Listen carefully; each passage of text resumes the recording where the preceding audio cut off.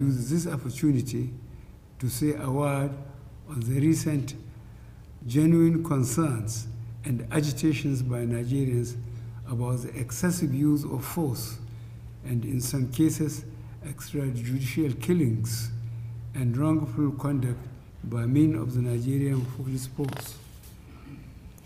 The disbanding of SARS is only the first step in our commitment to extensive police reform in order to ensure that the primary duty of the police and other law enforcement agencies remains the protection of lives and livelihoods of our people.